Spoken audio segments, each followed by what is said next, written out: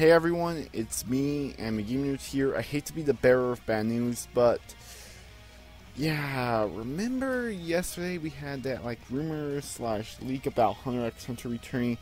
Turns out everything is looking like is gonna be total bullshit.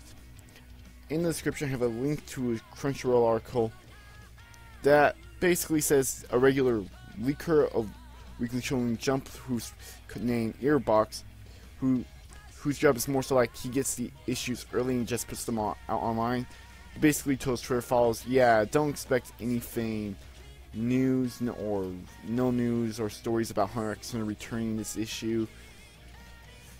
Yeah, which sucks. I was looking forward to seeing it return next month, and uh, it's like in the back of my mind, I was like, some more so bad news that's just going to just put everyone in bad news with Hunter x Hunter returning December.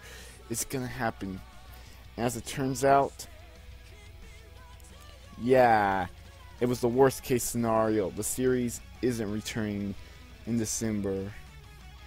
I also feel bad for you anime only watchers because we at least got I'm as I said my last Hunter x Hunter video, the Chimera Ant arc was is probably getting in April and around like probably early fall, late summer is when it's going to be all up with the manga when they finish the election arc.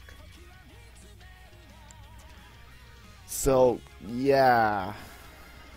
Man, I was looking forward to, to returning. I kid you not when I say I would sacrifice Bleach and Naruto.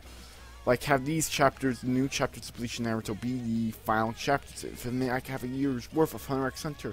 Fuck yeah, I was saying. I thought this week's Bleach chapter was great. And won't even get me started on this week's Naruto chapter. But yeah, anyways, it sucks this news came out. I was hoping it would return in December, but yeah, looks like that isn't the case.